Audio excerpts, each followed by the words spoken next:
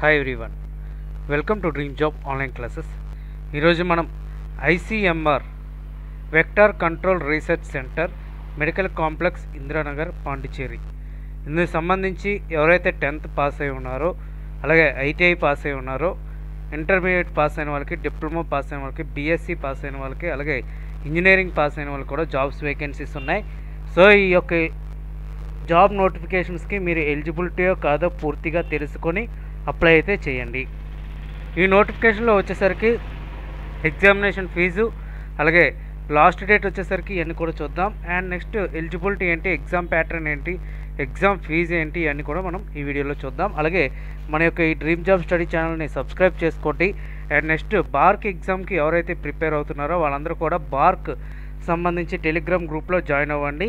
ITI మీద jobs prepare అవుదాం అనుకున్న వాళ్ళందరూ కూడా ఐటీఐకి సంబంధించి టెలిగ్రామ్ గ్రూప్ సపరేట్గా ఉంది. ఆ గ్రూప్లో మీరు జాయిన్ అవ్వచ్చు. ఇందులో వచ్చేసరికి అన్ని గ్రూప్స్ వారికి జాబ్స్ అయితే ఉన్నాయి. అంటే టెన్త్ పాస్ అయిన వాళ్ళకి ఉన్నాయి ఐటీఐ వాళ్ళకి ఉన్నాయి అలాగే డిప్లొమా వాళ్ళకి ఉన్నాయి బీటెక్ వాళ్ళకి కూడా ఉన్నాయి. ఇంకా ఫస్ట్ది post code technical and assistants life science. So technical assistant life science level six సంబంధించి టోటల్గా లెవెన్ వేకెన్సీస్ ఉన్నాయి. ఇది ఎవరైతే first class bachelor degree life science కానీ లేదంటే జువాలజీ కానీ మైక్రోబయాలజీ కానీ బయోటెక్నాలజీ కానీ పాస్ అయి ఉంటే సరిపోతుంది. Upper age limit thirty years. ఇక్కడ యూఆర్కి థర్టీ ఇయర్స్ ఓబీసీకి అయితే plus three thirty three years SC ఎస్టీకి అయితే ఫైవ్ ఇయర్స్ వరకు ఉంటుంది.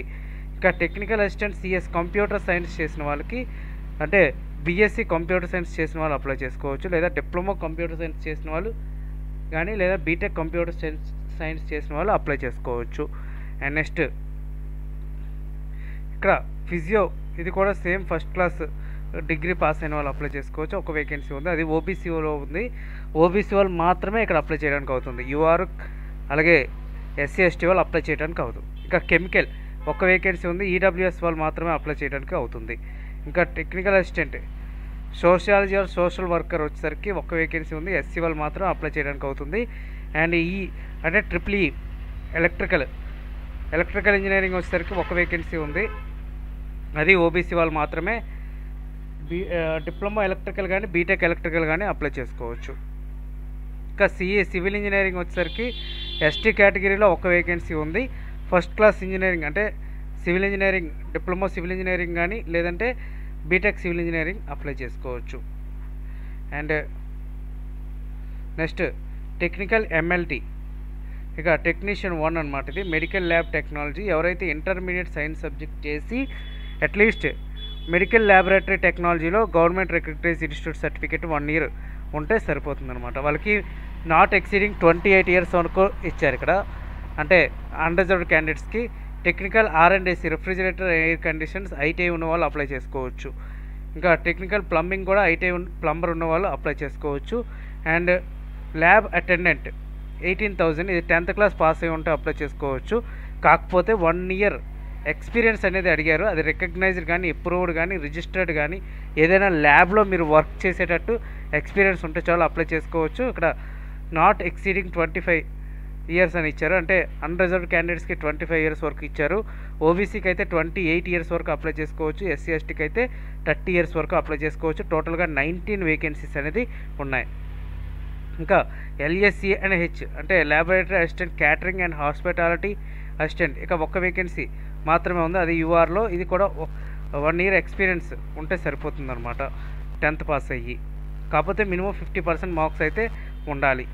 And instrument mechanic instrument mechanic pay level one ఇచ్చారు. సో ఐటీఐ ఉన్న వాళ్ళు అప్లై అయితే చేసుకోవచ్చు. ఇది టోటల్గా పోస్ట్ యొక్క ఎలిజిబిలిటీ డీటెయిల్స్. అండ్ దీని లాస్ట్ డేట్ వచ్చేసరికి November eight two thousand twenty three last date. So వీలైనంత వరకు ఆన్లైన్లో త్వరగా అప్లై అయితే చేయండి. ఓన్లీ ఆన్లైన్లో అప్లై చేస్తే చాలు. ఎటువంటి ఆఫ్లైన్ అప్లికేషన్ కూడా మీరు పంపించాల్సిన అవసరం లేదు. ఆన్లైన్లో చేస్తే సరిపోతుంది అనమాట దీని ఎగ్జామినేషన్ ఫీజు వచ్చేసరికి three hundred rupees examination fee ఉంటుంది. అలాగే ఉమెన్ క్యాండిడేట్స్కి అలాగే ఎస్సీ ఎస్టీ క్యాండిడేట్స్కి ఎటువంటి ఎగ్జామినేషన్ ఫీజు కూడా పేమెంట్ చేయాల్సిన అవసరం లేదు. డైరెక్ట్గా మీరు ఫ్రీ అప్లికేషన్ అనమాట మీరు. అండ్ నెక్స్ట్ సెలక్షన్ ప్రాసెస్ అయితే కొంతమందికి మాత్రమే స్కిల్ టెస్ట్ అనేది ఉంటుంది. అది ఎవరెవరికంటే technical assistant physio and CS and R and AC plumber laboratory assistant catering and hospitality IM వీళ్ళకు మాత్రమే రిటర్న్ టెస్ట్ మరియు స్కిల్ టెస్ట్ అనేది ఉంటుంది. రిమైనింగ్ అదే టెన్త్ క్లాస్ మీద ఎవరైతే అప్లై చేస్తారో వాళ్ళకి ఎటువంటి స్కిల్ టెస్ట్ ఉండదు. డైరెక్ట్గా మీరు ఒక ఎగ్జామ్తో మీరు డైరెక్ట్గా జాబ్లో జాయిన్ అవ్వచ్చు. ఇంకా రిలవెంట్ ట్రేడ్స్ ఇవన్నీ కూడా ఉంటాయి. టెక్నికల్ అసిస్టెంట్కి వచ్చేసరికి రిలవెంట్ సబ్జెక్ట్ సిక్స్టీ మార్క్స్కి ఇస్తారు. జనరల్ ఇంటెలిజెన్స్ అవేర్నెస్ అలాగే యాప్టిట్యూడ్ ఇంగ్లీష్ టోటల్గా టెన్ టెన్ టెన్ ఇస్తారు. టోటల్గా నైంటీ మినిట్స్ టైం అనేది ఉంటుంది. టెక్నీషియన్ వచ్చేసరికి రిలవెంట్ సబ్జెక్ట్ మీద సిక్స్టీ మార్క్స్కి ఇస్తారు. జనరల్ ఇంటెలిజెన్స్ సేమ్ అలాగే ఉంటుంది. అండ్ ల్యాబొరేటరీ అటెండెంట్కి రిలవెంట్ సబ్జెక్ట్ మీద ట్వంటీ మార్క్స్కి ఇస్తారు. General intelligence twenty awareness twenty quantitative aptitude twenty English twenty. ఓవరాల్గా నైంటీ మినిట్స్ టైం అనేది ఉంటుంది. ఏజ్ ఆల్రెడీగా చూసారు కదా ఎస్సీ ఎస్టీకి ఓబీసీకి రిలాక్సేషన్ ఉంటుంది. అన్రిజర్వ్ క్యాండిడేట్స్కి కొన్ని వేకెన్సీస్కి ట్వంటీ ఫైవ్ ఇచ్చారు కొన్ని వేకెన్సీస్కి థర్టీ ఇవ్వటం అయితే జరిగింది. ఇంకా పేమెంట్ అయితే ఆన్లైన్లో పేమెంట్ చేస్తే సరిపోతుంది. ఎటువంటి డాక్యుమెంట్స్ అప్లోడ్ చేయాలి అనేది ఇక్కడ ఇచ్చారు. మీ date of birth certificate educational certificate experience ఉంటే ఎక్స్పీరియన్స్ సర్టిఫికేట్ అలాగే ఓబీసీ సర్టిఫికేట్ కూడా అప్లై చేయాలి. ఇవన్నీ కూడా మీరు అప్లోడ్ చేయాల్సి ఉంటుంది. అండ్ ఈ యొక్క వేకెన్సీస్ అనేది ఇంక్రీజ్ చేయొచ్చు డిక్రీజ్ చేయొచ్చు అనేది కూడా క్లియర్గా ఇక్కడ మెన్షన్ చేయడం జరిగింది. ఇది టోటల్గా ఈ నోటిఫికేషన్ యొక్క డీటెయిల్స్ ఎవరికైతే ఎలిజిబిలిటీ ఉందో అందరూ కూడా అప్లై చేయండి. ఒక్క వేకెన్సీ ఉన్నా సరే అప్లై చేయండి. ఎందుకంటే ఆ ఒక్క వేకెన్సీ మీకే రావచ్చు.